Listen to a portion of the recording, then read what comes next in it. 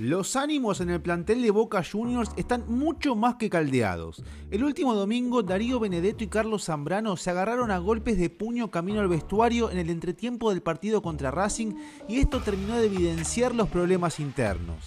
Semejante combate entre dos compañeros no es algo menor y el que explotó por esta situación fue nada menos que Juan Román Riquelme, ídolo y actual vicepresidente Ceneice, quien tras el encuentro bajó al vestuario y les dio una reprimenda a los jugadores. Cara a cara con todo el plantel, el ex Barcelona y Villarreal disparó.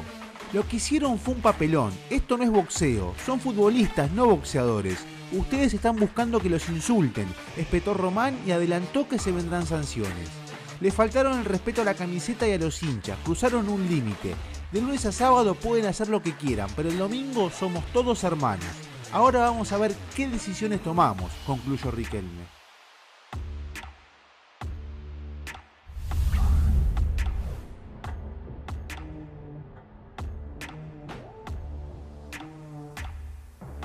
Ya que nos encontraste, no olvides que Telemundo y Peacock son la casa exclusiva en español de la Copa Mundial de la FIFA Qatar 2022. Desde el 21 de noviembre al 18 de diciembre, el Mundial lo es todo por Telemundo y Peacock.